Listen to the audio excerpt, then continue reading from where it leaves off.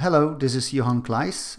I'm already logged in in my Gmail account and I would like to show you how you can create your own vCards which you can in fact attach to your Gmail or to each mail you send out.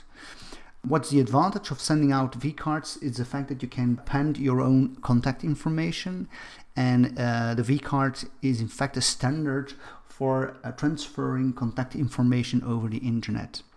But when we want to do so, you will need to go to the contacts service, which is available underneath mail. And here you will have to create a contact. Um, it will be your coordinates that you will need to fill in in your contacts. So we will speed up things and do this right away.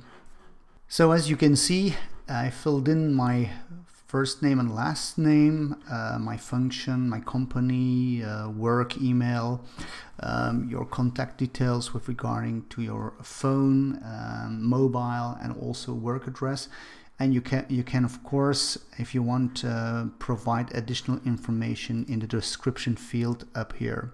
It could also be actual uh, be some more uh, info with regarding to your company or perhaps some promotions or product offerings that you might put here or a link to an event page whatever.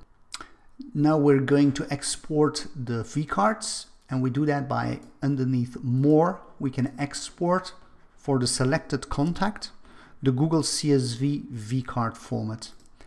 Once we have exported it, you have seen that we have two other formats. We can as well generate the vCard for Outlook users, and we can also export the vCard for importing into Apple Address Book. Once you have the three files, you're ready to take off. It means you can go to your Gmail and you can begin composing a message and as from composing your message, you can append the three vCard files straight as an attachment and as from then send out the message. I hope that this was a helpful video. I thank you very much for watching this and see you next time.